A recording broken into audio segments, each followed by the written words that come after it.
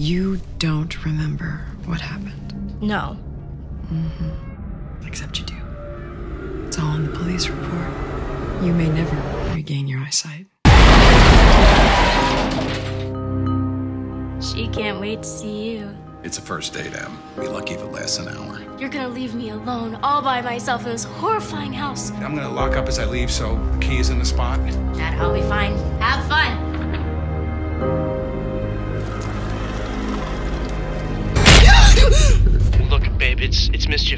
I mean, God knows I've terrorized some folks in my time.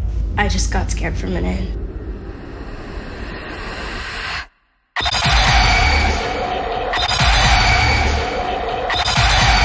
Emily?